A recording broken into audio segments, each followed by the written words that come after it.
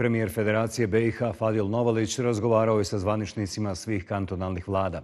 Krenulo se od reformske agende koja je osnovica djelovanja svih vlada. Druga tačka bili su finansijski efekti koji su, kako kažu, povoljno djelovali na sve kantone.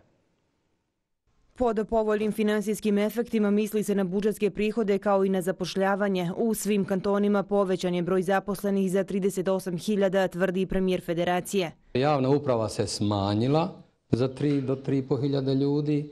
Znači i školstvo je ostalo na istom, svega 22 e, čovjeka su razlika u školstvu. Da vam kažem brojke, zaposleni u školstvu je to 42.000, u zdravstvu 31, sada već 32 i u javnom sektoru od države do opštine je to ono što zovemo upravom i socijalom je to 41.000. Znači sveukupna zaposlenost je praktično sva u realnom sektoru. Rezultati reformske agende najbolje se vide u Tuzlanskom kantonu, kaže premijer Bego Gutić.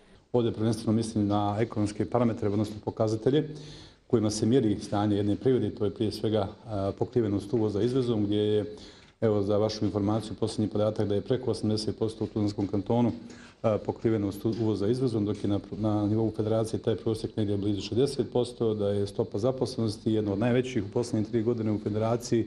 Trenutno se radi na izradi strategije zapošljavanja. Cilj je ovu oblast modernizirati.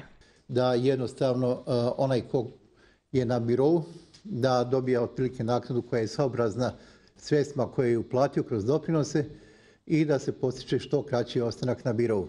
Fiskalna politika mora biti održiva i dogovorena s nižim nivoima vlasti. Zaključeno je. Na stolu se našla i tema o dva ključna zakona. Zakonu o porezu na doprinose i zakonu o dohodku te njihova primjena na kantone. Jer su vrlo onako opasni, mogu tako slobodno reći, jer bi se uvođenje ovih nekih novih osnovica moglo s jedne strane povećati namet u javnoj potrošnji, dakle povećanjem ovog dijela preko 800 maraka na 11.000 budžetskih korisnika već imate ozbiljne brojeve, dok s druge strane liberaliziramo ili oslobađamo onaj dio kapitala koji bi mogao napuniti dijelove budžeta. Treba, kaže Konaković, biti spreman na to da će neki od fondova trpjeti i da će biti smanjenih prihoda koji bi se opet nadomjestili iz drugih izvora.